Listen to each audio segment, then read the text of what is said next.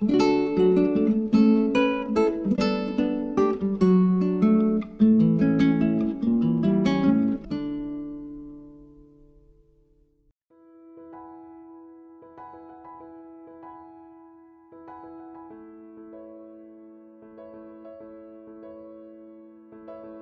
name is Paula Strauss. I'm an entomologist studying insects at the Grootbos Foundation. Insects are fascinating because they are little adaptation machines. When you look at an insect, you'll find something that is 100% built for its job.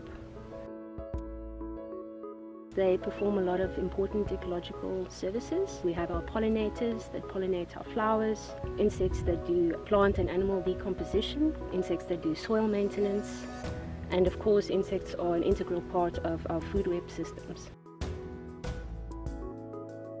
If insects were to disappear from our planet, we will be in big, big trouble.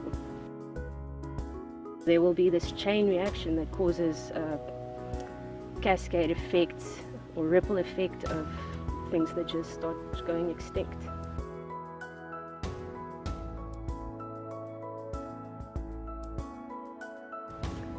I find a lot of inspiration in my job when I go out into the field and I um, find new things, uh, discover things I didn't know existed before.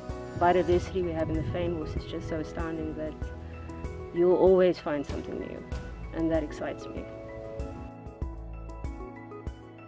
As an entomologist and a researcher, I think I make a difference in informing um, management and conservation agencies and adding knowledge to what we know and that at the end of the day um, conserves our biodiversity.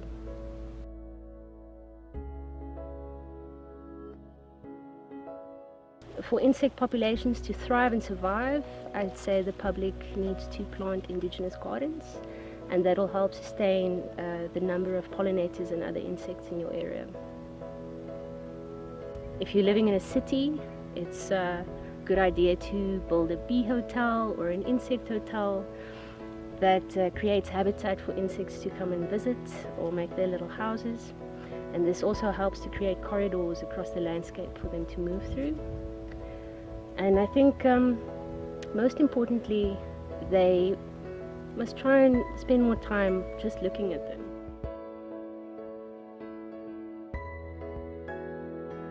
My advice to young entomologists would be uh, start early, go out into the field, um, learn as much as you can because there's so much to know and you only live this long.